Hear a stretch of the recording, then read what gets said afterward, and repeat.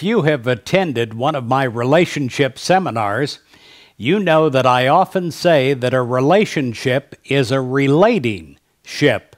Really, it comes down to how good is your communication with the other person. And we have to communicate.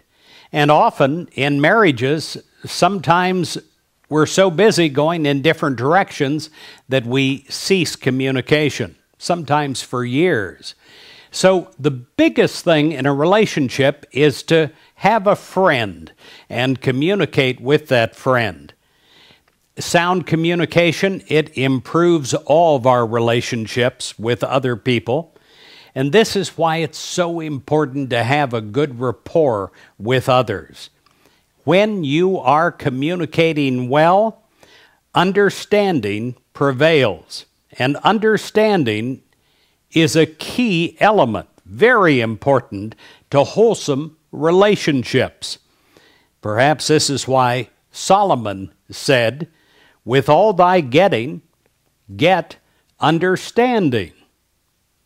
When we have a good rapport with other persons, we are in agreement and we're in harmony. And this makes for more effective living and fun living. It brings happiness to life itself.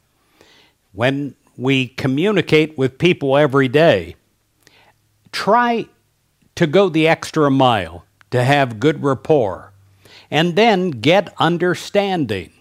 Try to see through the other person's eyes. And when you do, it enables us to have a wonderful life. With this understanding that results, life should go smoother. There won't be conflict. There won't be butting of heads. There will be an inner smile. And that is the way that the soul should live every day, smiling. God bless you.